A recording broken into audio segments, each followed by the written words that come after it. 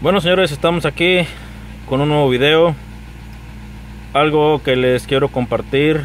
Eh, pues ahora sí que este video va a ser cortito, rápido y conciso a lo que voy.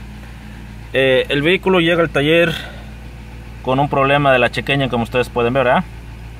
Pero ese problema de la check engine realmente no es este eh, muy grave la cosa a lo que voy es de que en estos sistemas cuando traen aceleradores electrónicos una simple falla relacionada al motor en este caso estamos mirando que tiene la chequeña emprendida y que tiene el traction control off ok y el del stability control traction. O sea tiene tiene pues ahora sí que el sistema de tracción está deshabilitado. Aquí tenemos nosotros este el botón. Track off. Lo voy a presionar varias veces. Y no pasa nada. Entonces esta camioneta pierde el sistema de tracción o el control de la tracción puesto que hay una falla en el motor. Hay una falla eh, relacionada a un engine misfire. Entonces, muchas veces el cliente puede llegar quizás omitiendo esta falla o quizás pidiéndoles directamente que le solucionen esto. Quizás la check engine ya la traía bastante tiempo y de un día para otro le prende el traction control, ok, o el stability, el vehicle stability control, eh, les puede prender pero como el cliente ya trae la luz encendida desde hace mucho tiempo, quizás un evap leak, quizás este X X este falla, le puede prender esa esa luz de la chequeña, ¿verdad? Entonces, supongamos que el cliente llega nada más para que le den servicio a estas dos luces, porque la camioneta quizás es 4x4, porque la camioneta quizás este ya no está eh, funcionando bien la tracción, cosas así. Chequen la falla que puede llevarse, como se dice vulgarmente, que puede llevarse de corbata a estas dos luces. Voy a escanear ahorita el motor. Ok, aquí lo tengo. Voy a escanear ahorita el motor en la modalidad de códigos solamente.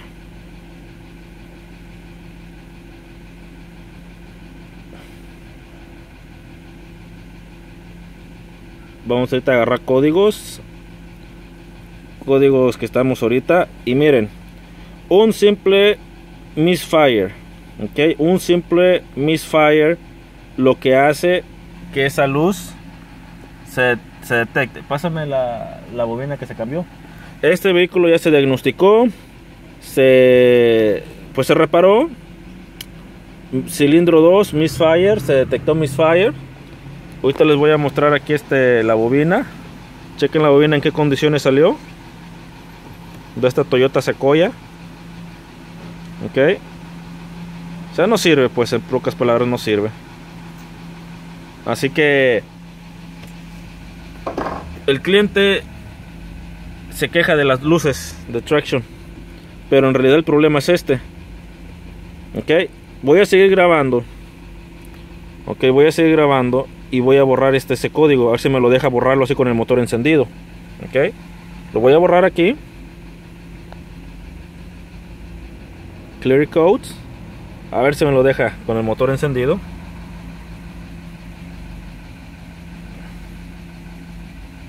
Si no voy a tener que apagar el vehículo. Ok chequen esto. Se apaga el vehículo. Ya borró la check engine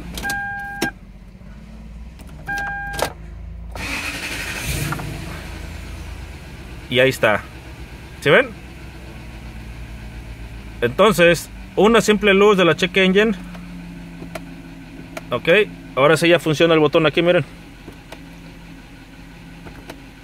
Una simple luz de la check engine puede causarnos un dolor de cabeza. ¿Por qué? Porque el cliente todo el tiempo dice, yo no quiero que me dé servicio esta luz, a mí solucioname este problema. Cuando aquí no existe ningún problema.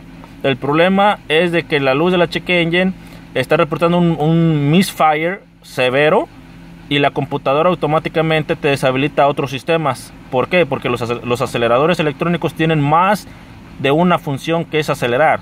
También este, permiten que el motor no se derrape, permiten este, impedir que revolucione demasiado si se está derrapando. Tiene muchas funciones el acelerador, no nada más es acelerar y ahí estuvo. No, tiene demasiadas funciones, ¿verdad? Entonces volvemos aquí a escanear. Saco códigos otra vez. Y ese es el punto a lo que queremos llegar. Que muchas veces el cliente pide una sola luz que se le diagnostique, pero la luz muchas veces no es el del problema. ¿Ok? Sino que es otra luz que se está llevando a las demás. Así que un consejo, escaneen todo el vehículo, háganle saber al cliente con bases, con este con información en mano para que él para que él entienda qué es lo que hace la luz, por qué la luz está llevando a las demás de pues de corbata, como dice el dicho.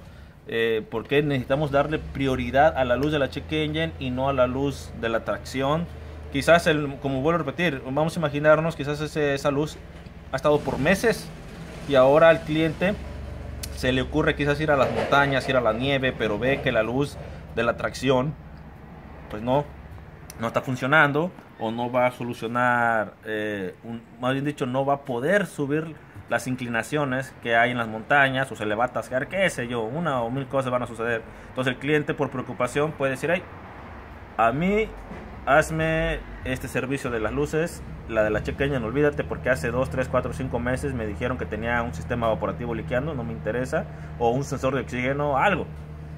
Entonces, tenemos que ver cómo, cómo encajan todas las luces, cómo, cómo están encajando, ¿por qué? Porque el sistema es un acelerador electrónico, el motor ya tiene una falla muy severa, muy severa de, pues, de un, de un misfire, ¿verdad? Un misfire que la luz estaba flasheando, estaba on and off, on and off, y pues debido a una, pues a una bobina en mal estado.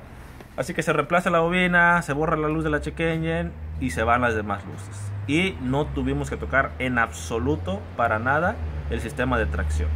Así que quise compartir este pequeño videito con ustedes señores en caso de que algún cliente llegue así de a tiro pidiendo una sola luz exclusivamente una luz que se le diagnostique si es que tiene un árbol de navidad y no quiere solucionar todo el problema de jalón pues hay que, hay que hacerlo entrar en razón hay que explicarle bien para que él entienda y nos dé el trabajo de otra manera si nos ponemos agresivos pues agresivo se pone el cliente si nos ponemos este un poco sin conocimiento del tema pues el cliente está peor Así que suscríbanse a mi canal, señores.